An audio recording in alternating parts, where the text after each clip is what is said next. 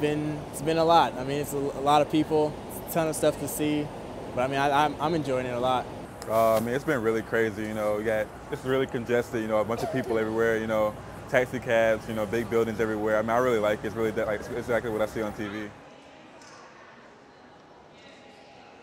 Well, I mean, I've never been up that high, obviously, and uh, just looking down. Well, we went to the 80s. There's 86 floors, so you get to the top. It's it's a lot to take in. It's another perspective look at the world, and I mean, it's one of the eight wonders of the world, so it's pretty cool to look at.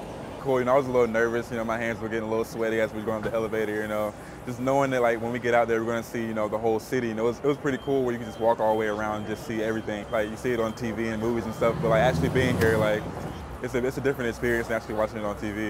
You gotta get out here eventually, you know what I mean? It's, it's a great place to come visit, you know, a very touristic place. You got a bunch of buildings and like monuments and stuff people wanna come see, so you gotta get out here at some point in your life. It's a great experience.